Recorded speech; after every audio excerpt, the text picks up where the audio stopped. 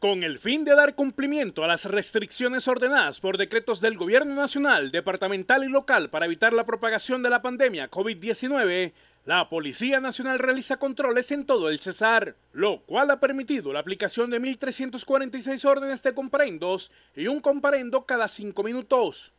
El Departamento de Policía Cesar continúa en aplicación de los decretos de orden nacional, departamental y local ya al momento suman 1.366 comparendos, 643 de ellos en Valledupar. Ante la necesidad de dar cumplimiento a las restricciones establecidas y teniendo en cuenta el argumento de personas contagiadas en Valledupar, el Departamento de Policía Cesar dispuso de 65 puestos de control, 19 de los cuales están en diferentes vías de Valledupar. Invitamos a que se cumplan las restricciones que están relacionadas en este decreto, lo que atañe a lo al distanciamiento, al pico y cédula, a las eh, medidas de movilidad. Por eso le pedimos que se queden en casa. Les pedimos que por favor nos ayuden, mucho más ahora que se han incrementado los casos en Valledupar.